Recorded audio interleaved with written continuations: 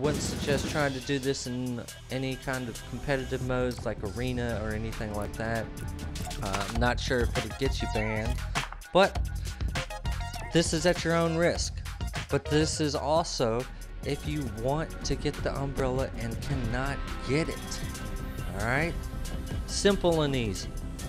Once you load up and you get in the game, you're just going to need your buddy to leave the game. And that's it. So we're sitting here, we're loading up.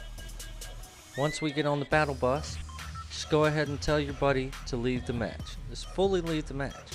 For some reason, the game still thinks that your buddy is still in the game. It's glitched out somehow.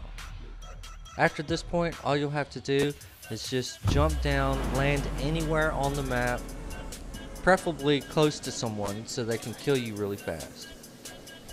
After that, all you'll have to do is just sit there and wait. This is the only part that is terrible because it takes so much time. Uh, just depends on how long the match lasts, how many people are in here that are actually pretty decent and gonna gonna wipe the whole map really quick. But as you can see here, I see about three people landing on this one house. So I decided I'm gonna go ahead and land here.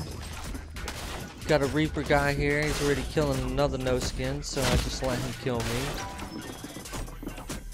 And you can see here, my reboot card is there.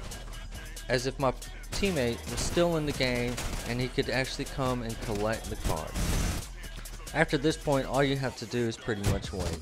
Like I said, depending on how long the match takes, depends on how long it'll take for you to get your umbrella.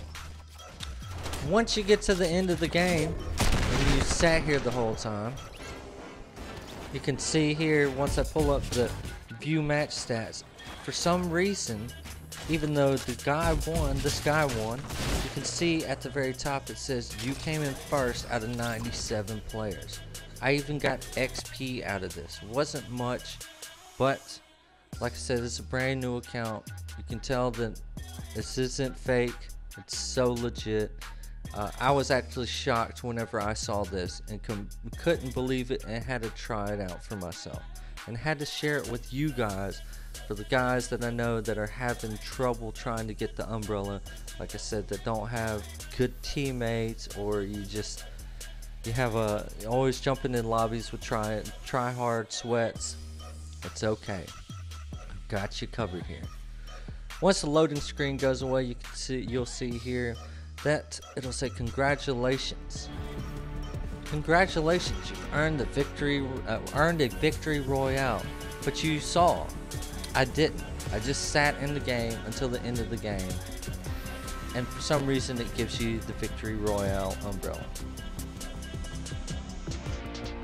So guys, like I said, if you enjoyed this video, like, comment, subscribe. Do this at your own risk. Uh, if you get banned or anything happens, it's all on you. I'm just here to give you the information. But you can see here now I do have the umbrella in my locker. It was really simple and easy. Uh, I think it took maybe like 17, 18 minutes and then the game was over. I had to sit here.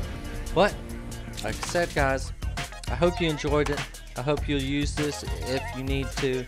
If you don't, go ahead and play the game. Win it like you always would. But anyways guys, that's it for me. Till the next video, I'm out.